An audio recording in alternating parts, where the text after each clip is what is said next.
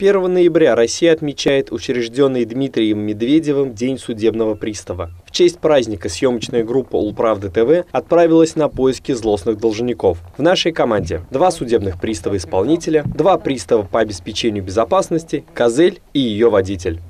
Обеспечиваем безопасность судебного пристава-исполнителя при выходе на участок, ну и также, когда находимся а, в судах и в Федеральной службе судебных приставов. А вот во время таких рейдов какая-то реальная опасность для пристава вообще есть?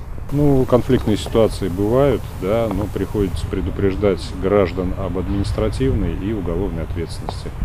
В принципе, всегда, э, видя человека в форменном обмундировании, граждане понимают о том, что по, после предупреждения они прекращают противоправные действия. Едем в железнодорожный район искать трудных должников. Судебные приставы в зависимости от подразделения занимаются взысканиями долгов по кредитам, платежам или алиментам. В первых двух случаях ФССП – это такой последний аргумент, и если дело дошло до них, значит договориться другим путем уже не получилось. А вот алименты – это поле деятельности исключительно приставов.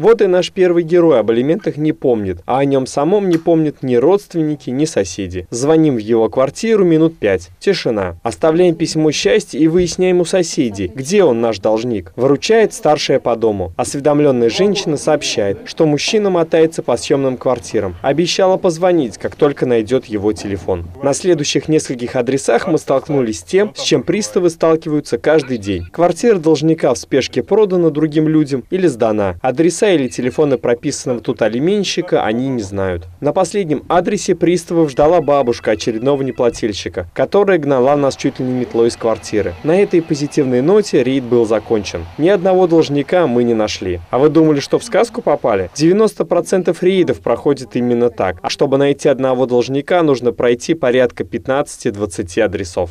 Сегодня был осуществлен выход на территорию железнодорожного района а, по категории исполнительных производств о взыскании алиментных платежей, в результате которых а, были отобраны объяснения от а, родственников должников, были оставлены повестки о явке к судебному приставу-исполнителю в отделы, отобраны объяснения, составлены акты совершения исполнительных действий. Неплательщиков мы не поймали, но важный урок получили. Не стоит к приставам относиться предвзято. И их служба в тысячу раз честнее, чем жизнь тех, кто забывает об алиментах собственным детям. Андрей Творогов, Константин Никитин. Новости Ульяновской правды.